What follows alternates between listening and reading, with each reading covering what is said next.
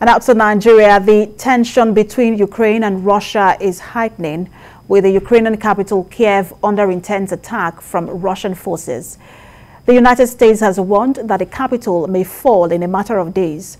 Briefing journalists on the tense situation, Ukraine's president warned that his government will resist the unprovoked invasion by Russian forces. Другий ранок масштабної війни. Ukrainian President Volodymyr Zelensky addressed the nation early on Friday morning, appealing to Russia for a ceasefire.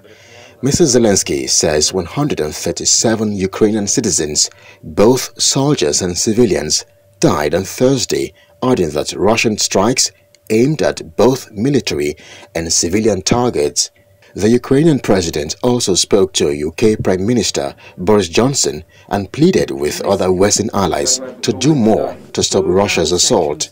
Другий ранок масштабної війни. О 4 годині російські сили продовжили Meanwhile, sirens rang out in the western Ukrainian city of Lviv early on Friday. Satellite images collected on Thursday after Russia's invasion of Ukraine show damage to fuel storage areas and airport infrastructure in the city of Chuhuiv. The images released by private U.S. company Maxar Technologies are of an airfield at the city in eastern Ukraine. Other images show Russian military activity in Belarus near the Ukraine border and at several locations in Russia.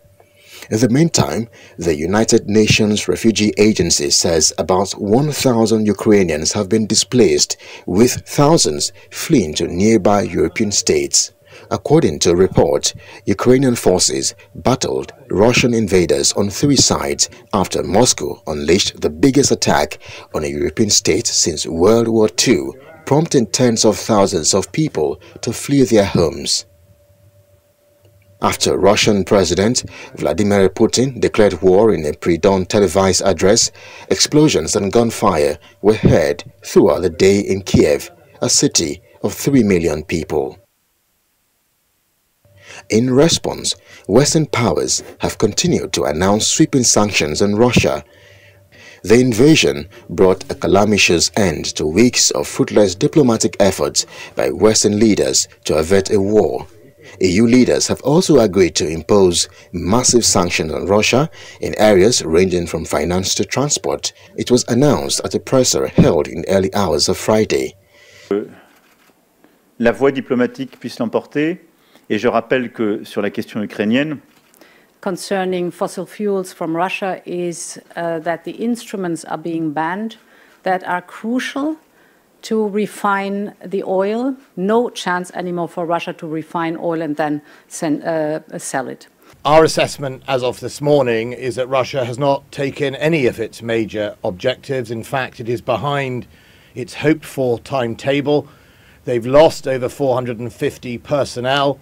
Uh, and indeed, as you've said on your report, one of the significant airports they were trying to capture with their elite Spetsnaz has failed to be taken, and in fact, the Ukrainians have taken it back.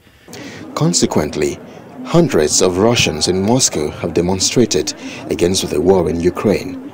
The Russian authorities, however, have announced that they will crack down on any unauthorized demonstrations on their territory and outside Russia Anti-war protests are also taking place in various cities around the world.